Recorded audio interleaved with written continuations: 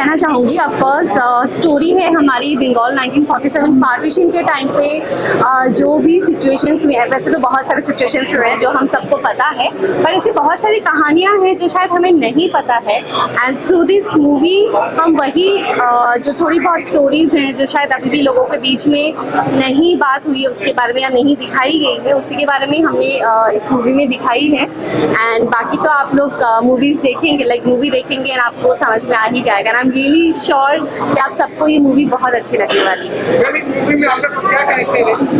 मेरा कैरेक्टर का नाम है रेशमा बाई। सो so, जैसे मैंने कहा कि बहुत बहुत सारी स्टोरीज हैं यहाँ पे।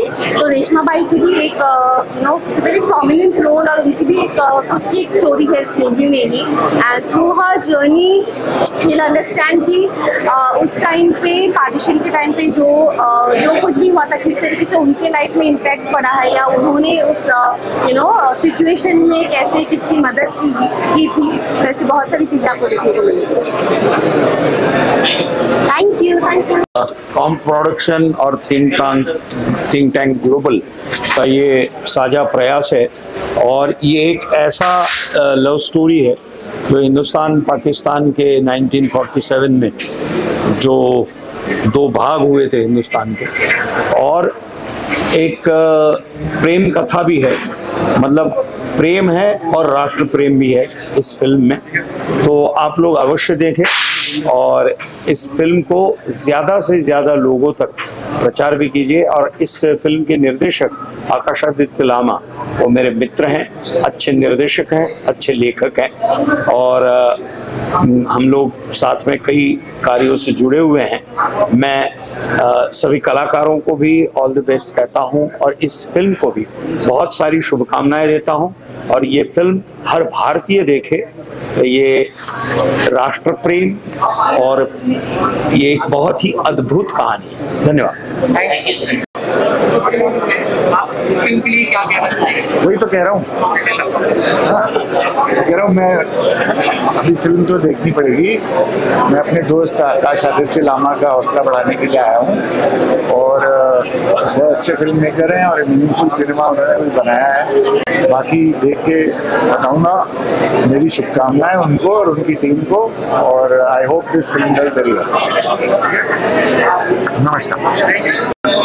जैसे कि आकाश जी ने आपको बोला कि मैं बहुत पुराने आकाश जी की दोस्त हूँ। इनफैक्ट आप लोग, शायद आप लोग को पता नहीं होगा कि मेरा फ़र्स्ट शो अफसर मीडिया के पहले जब मैंने अपना थिएटर डेब्यू किया था यहाँ पे तो मैंने आकाश जी का थिएटर ग्रुप से डेब्यू किया। In fact I am still a part of his theatre group और आकाश जी का writing and directorial talent I am sure आप लोग इसके पहले भी देख चुके हैं। I am big big fan Akash ji जिस तरीके से रियलिटी को यू नो फिक्शन के साथ जो मर्ज करते हैं ना इट इज़ ब्यूटीफुल मतलब आपको देखते हुए बोर भी नहीं होगा और आपको ये भी नहीं लगेगा कि ये रियलिटी नहीं है। इसमें कुछ पार्ट फिक्शन का भी इन्वॉल्व है। तो I am really looking forward मैं लास्ट मूवी की स्क्रीनिंग पे आने पाई थी मैं कहीं बाहर शूट कर रही थी। But I am really really looking forward कि मैं जाऊँ और बंगाल 1947 को देखूँ। और आई एम श्योर देखने के बाद मैं आपको कुछ और इंटरेस्टिंग चीज़ें भी बोल पाऊँ। तो नहीं मैंने मूवी में काम नहीं किया बट हाँ मेरी दोस्त देवोलीना ने ज़रूर काम किया है। And I am looking forward क्योंकि देवो? का देखिए यूजुअली जब हम as you know daily source में जब हम काम करते हैं तो हमारा लुक और हमारे कैरेक्टर्स बहुत टिपिकल से होते हैं। बट देवो का इस मूवी में कैरेक्टर बहुत डिफरेंट है। तो I am really looking forward मैंने uh, उनका uh, देखा था पोस्टर देखा था एंड थोड़ा बहुत मैंने झलक सॉन्ग की भी देखी है। तो I am really looking forward कि देवो इस फ़िल्म में उनका क्या किरदार दर्शकों से क्या मैं ये कहना चाहूँगी कि आप लोग मूवी देखिए और मेरे फ्रेंड आकाश जी, उनकी पूरी टीम उन सबको ब्लेस कीजिए और अगर आप लोगों को मूवी पसंद आए जो आई एम श्योर पसंद आएगी तो डेफिनेटली आप अपने फैमिली में, अपने फ्रेंड्स में बताइए कि मूवी कितनी अच्छी है और आके थिएटर्स में इस मूवी को देखिए और हम सब लोगों को ब्लेस कीजिए। ये एक बहुत अच्छी फ़िल्म है। मैंने ऐसी क्लियर फ़िल्म नहीं देखी है। मैंने ये स्टोरी ऐसी नहीं सुनी है। तो मैं चाहती हूँ लोग देखें इसे और बहुत प्यार करें। ये डिजर्व करती है फ़िल्म आपका है मेरा कैरेक्टर है मेरी कैरेक्टर का नाम बासव दत्ता है। बहुत प्यारा कैरेक्टर है चुलबुला कैरेक्टर है प्यार में मगन कैरेक्टर है बहुत अच्छा कैरेक्टर है।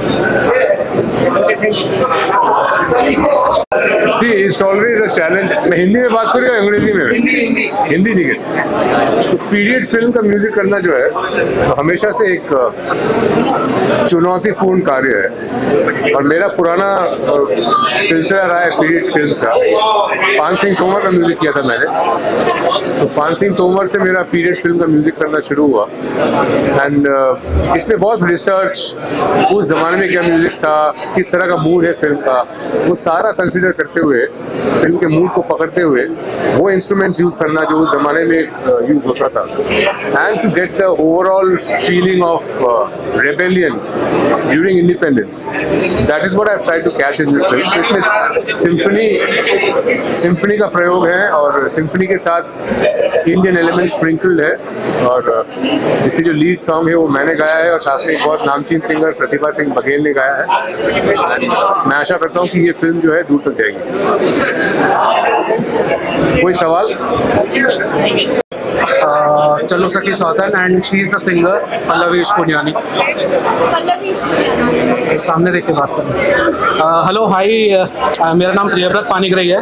मैंने एक सॉन्ग इसमें कंपोज किया है चलो सखी सौतन और मैडम उसकी सिंगर है Pallavish Puniyani. Thank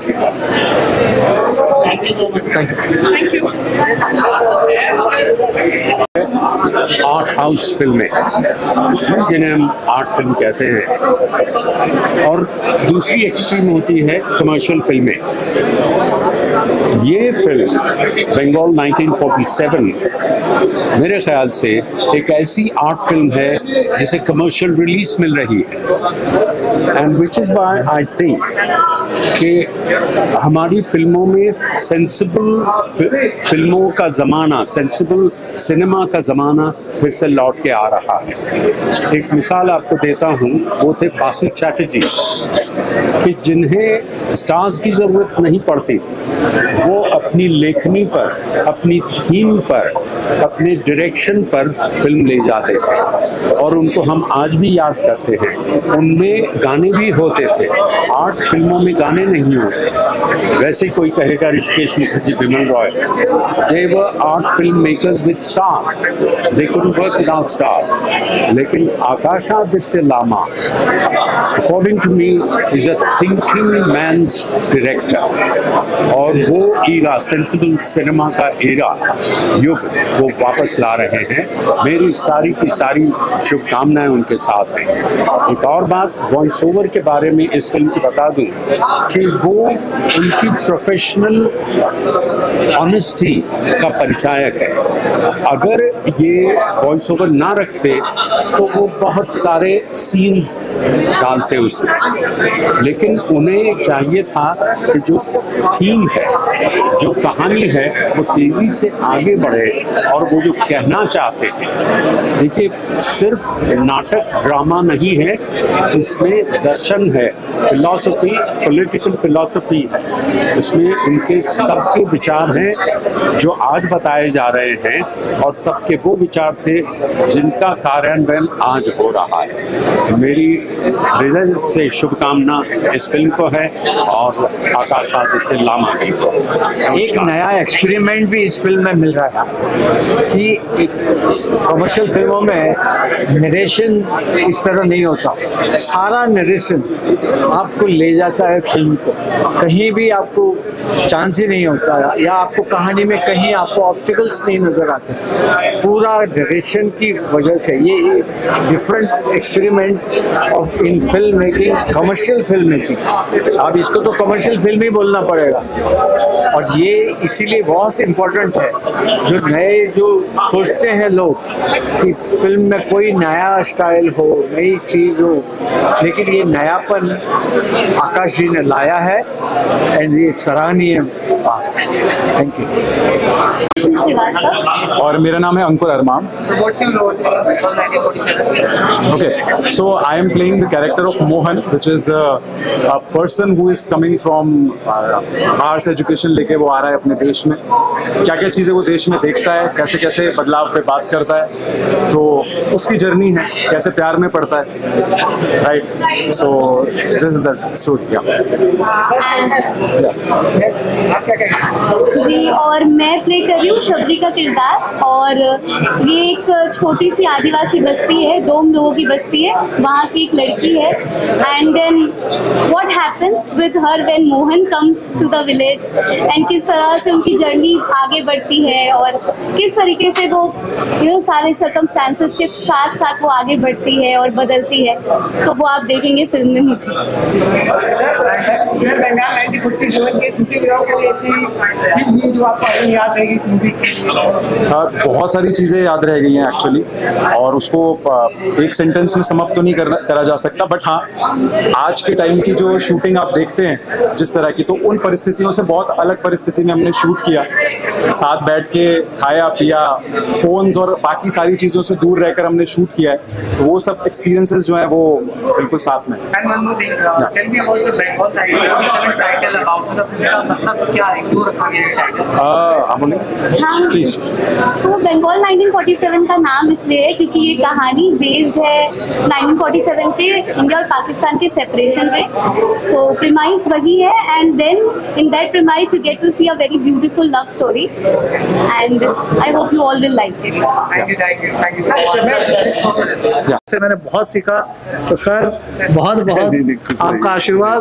आशीर्वाद दीजिए और बिल्कुल। आपसे मैंने सीखा है जी, आज ये फ़िल्म बना रहा हूँ। बहुत बड़ी बात है सर, सर और मुझे बहुत बहुत गर्व है कि मेरे असिस्टेंट आज डायरेक्टर बने हुए हैं और भगवान करे बहुत सफलता प्राप्त करें। ये पिक्चर के नाम बहुत सुना था मैंने और आज देखिए इन्होंने नाम पहुँचा दिया। मुझे उम्मीद नहीं था कि ये इतना आगे जाएँगे लेकिन आज देखिए सब ऊपर वाला है। जो इनको तरक्की दे रहा है, सब इनकी मेहनत है। इन्होंने बहुत मेहनत किया है। हमारे यहाँ थे, कई फ़िल्में मेरे साथ किया है इन्होंने, लेकिन बहुत मेहनत की बहुत शर्मिला। उस वक्त ऐसे आया फिर लगेगा नहीं कि अब ये ये कुछ कर पाएँगे। लेकिन आज देखिए, झंडा गाड़ दिया इन्होंने इंडस्ट्री में। और मैं बस गुजारिश करूँगा कि ये पिक्चर आप सब अपने दोस्तों को भी बताएँ और लोगों को भी बताएँ कि बंगाल 1947 रिलीज़ हो गई है कल। इसमें ध्यान रखिएगा आप लोग। बस यही मेरी दुआ है। कि ये आगे से आगे बढ़ें और फ़िल्में करते रहें। धन्यवाद सर धन्यवाद। अब बहुत थिएटर तो है, अभी डेढ़ दो सौ थिएटर तो होगा ही रिलीज़ होगा। उनके और भी ज़्यादा, अगले वीक में और करेंगे, पाँच सौ थिएटर करेंगे। ये पिक्चर के बड्डे पहले पिक्चर बहुत अच्छी बनाई है इन्होंने और बहुत मेहनत किया इस टाइटल से ही पता लगता है कि जब पार्टीशन हुआ था, पाकिस्तान और हिंदुस्तान तक तो क्या हालत थी। पंजाब और बंगाल में से ज़बरदस्त हालत थी। उसी के ऊपर सब्जेक्ट लेकर इन्होंने बनाई है फ़िल्म और मैं आशा करता हूँ कि आप लोगों को बहुत पसंद आएगी। बस मेरी दुआएँ हैं इनके साथ रामाग जी के साथ, कि इनके पिक्चर को सक्सेस कीजिए, आशीर्वाद दीजिए। दुआ दीजिए दुआओं में बहुत असर है। नमस्कार सर। मेरा नाम राज कहानी है उसकी कहानी थोड़ा बताना चाहेंगे? ये एक प्रेम कहानी है। आ, अगर आप मेनली ये फ़िल्म लव स्टोरी है लेकिन ये कहा लव स्टोरी सेट है, उस समय जब देश का बंटवारा हो रहा था, ये मोहम्मद अली जिन्ना के जब डायरेक्ट एक्शन डे का ऐलान हुआ था, वहाँ से इसकी शुरुआत होती है और ये लव स्टोरी एक देखा जाए तो अभी तक चल रही है, इस तरह की कहानी है और 71 तक तो प्रोमिनेंटली बताते हैं इसमें और अभी तक चल रही है। तो इस तरह की एक लव स्टोरी है जो देश के विभाजन के समय सेट है। हमने पंजाब वाली कहानी बहुत सुनी है जो क्योंकि उस समय देश के दो ही हिस्सों का बंटवारा हुआ था, पंजाब और बंगाल का। तो हमने पंजाब वाली कहानी बहुत सुनी है बंगाल वाली नहीं सुनी है बंगाल की कहानी तो टाइटल बंगाल 1947 रखने पीछे क्या वजह थी कि वही एक चॉइस किया बंगाल 1947 टाइटल देखिए, ये ना हमारे, मेरा प्ले है, शबरी का मोहन, उसके ऊपर बेस्ड है, वो नाटक के ऊपर। लेकिन जब हमने शूटिंग कर रहे थे, वहाँ पे जो बंग भाषी लोग हैं उन लोगों के साथ शूट कर रहे थे तो उन्होंने कहा कि ये केवल दो या तीन लोगों की, चार लोगों की कहानी नहीं है। भले आप प्रेम कथा बता रहे हैं, लेकिन इसमें तो हम सबकी इसमें व्यथा जुड़ी है, हम सबका दर्द जो है इस कहानी के पीछे। तो उन्होंने कहा कि इसका सर, ये तो पूरे बंगाल को रिप्रेजेंट कर रहा है। तो हमने इसीलिए जो है, हमने उसका नाम बंगाल 1947 किया और हमारे प्रोड्यूसर सर है सतीश सर जब और ऋषभ जी, इन्होंने भी जो कहा, हमारे इंटरनल डिस्कशन हुआ। इनफैक्ट कई लोगों का सुझाव था, जैसे मधुर मधुर भंडारकर जी वगैरह, उन्होंने ही एक्चुअली इस तरह से, इस टाइटल के लिए कहा था। मतलब जब हमने उनके सामने चॉइस रखा कि लोग ऐसा कह रहे हैं, उन्होंने कहा, बिल्कुल सही कह रहे हैं। तो हमारे मित्र है, बल्लू सलूजा एडिटर है, जो बहुत जाने माने, उन्होंने भी इस पर स्टैम्प लगाया। हमारे म्यूज़िक डायरेक्टर अभिषेक है, इन्होंने भी स्टैम्प लगाया।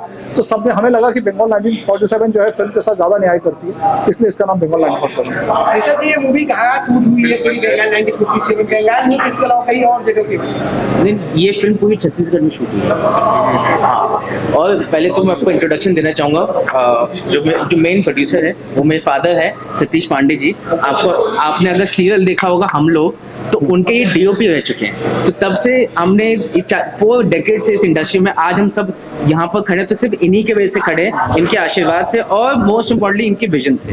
तो प्लीज़ पहले आप इनसे पूछिए हाँ, सवाल जो प्लीज़ पूछ लें। इन्होंने ये जा- इन्होंने जामिया में पढ़ाया है हाँ। उनके स्टूडेंट्स है जो कि जामिया मास कंपनी में डीओपी उसमें camera department he is been the veteran of the industry and दो नेशनल अवार्ड मिले। प्लीज़ आपके जो सवाल है प्लीज़ पहले इनसे कोई बात नहीं। नहीं नहीं बिल्कुल हाँ। सर आप जितना पोस्टर पोस्टर देख रहे हैं उसे में लब भी दिख रहा है अखबार जैसा भी दिख रहा है तो पोस्टर के बारे में बताएँ और फ़िल्म के बारे में। फ़िल्म के बारे में आप बताएँ पुस्तक के बारे में आप बताएँ। नहीं आप बताइए बताइए फ़िल्म जो है ये आइडिया पहले तो मैं बताता हूँ ये आइडिया कैसे आया कि 40 साल काम करने के 30 35 साल काम करने के बाद नेशनल अवार्ड मिलने के बाद काफ़ी जूरी जूरीज में हम लोग थे। तो जूरी में आए हमें आकाश जी मिले क्योंकि ये भी को जूरी में थे। तो कोविड टाइम में ऋषभ जब बॉम्बे में ऑफ़िस से दिल्ली आया तो हम उनकी भी इच्छा थी कि एक फ़िल्म बनानी जाए बनाई जाए। तो आकाश जी कोविड टाइम में हमारे यहाँ फ़िल्म एडिट करने आए नाटक नाटक एडिट। करने आए जिसका नाम था शब्दिका मोहन। तो वो देख के हम तीनों का आइडिया हुआ कि भाई एक फ़िल्म बनाते हैं ये बहुत अच्छा टॉपिक है और इसके ऊपर फ़िल्म बनाते हैं। तो वहाँ से कहानी शुरू हुई। तो ये फ़िल्म बनी। इसके बाद जो फ़िल्म बनी उसके अंदर दो साल लगे मतलब करते करते। लेकिन आकाश जी और ऋषभ ने बहुत आपस में बहुत अच्छी मेहनत की बहुत अच्छा कोऑर्डिनेशन इनका था। मेरा रोल बाहर से था सेटेलाइट जैसा था लेकिन मेहनत दोनों ने इन दोनों ने की है ज़्यादातर। मेहनत तो बेसिकली हम आकाश जी और आकाश जी एक्चुअली हम दोनों के दोस्त हैं। पापा दोनों के दोस्त हैं। इनका भी मित्र इनका भी मित्र। कल आज और कल है। और ये फ़िल्म हमने बड़ी मेहनत से आकाश जी का विजन है इन पापा की एक बात है हम तीनों ने मिलके कोशिश की कि लोगों के लिए एक फ़िल्म ऐसी बनाए जो उनको पसंद आए। ये विभाजन की कहानी है बट एंटरटेनिंग और अच्छी तरीके से हमने बताई कि उस समय हुआ क्या था। और कोशिश ये है कि लोगों को इसके बारे में आइडिया हो कि हुआ क्या था और इसी के बारे में हमने बताया। सर ये मूवी पूरे इंडिया में रिलीज़ हुआ है आज की पूरे देश में। नहीं फुल इंडिया पूरे पूरे देश में। दर्शकों दर्शकों से क्या कहना चाहेंगे इस मूवी को लेकर? दर्शकों से यही कहना चाहिए कि आपको अपना पास्ट को पता होना चाहिए। हर एक कोई बात करता है कि 1947 में जो भी हुआ वो सिर्फ़ पंजाब और वहाँ पे हुआ लेकिन ऐसा नहीं हुआ।